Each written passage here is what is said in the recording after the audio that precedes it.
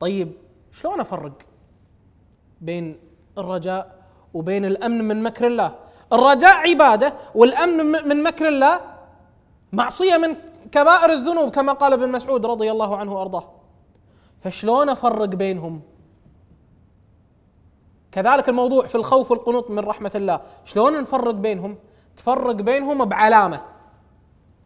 إذا كان هذا الشعور الداخلي اللي تشعر فيه من الطمع في الجنة يدفعك للعمل فهذا شنو؟ فهذا شنو؟ رجاء أما إذا كان هذا الشعور الداخلي يثبطك عن العمل يقعدك عن العمل فهذا شنو؟ فهذا تمني أو هذا أمن من مكر الله فهذه هي العلامة التي تفرق فيها بين الرجاء والأمن من مكر الله ويطلق كذلك الرجاء ويطلق كذلك الرجاء على الخوف. كما في قوله تعالى ما لكم لا ترجون لله وقارا. يقول الراهب الراغب الأصفهاني في تفسير هذه الآية يعني ما لكم لا تخافون من الله فتوقرونه.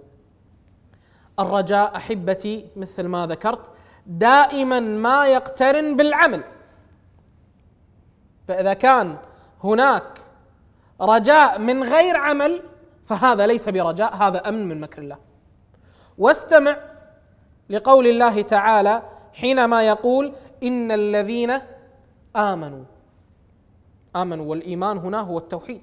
ومن أتى بالتوحيد أول ركن أو علامة من علامات وجود الرجاء لديك هي توحيد الله تبارك وتعالى. فلا يمكن أن يرجو الله تعالى أحد ليس لديه توحيد. وقلبه مليء بالشرك. لا يمكن أن يرجو الله تعالى.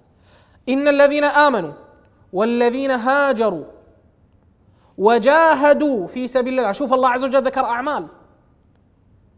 بعدين يا ربي أولئك الذين يرجون رحمة الله.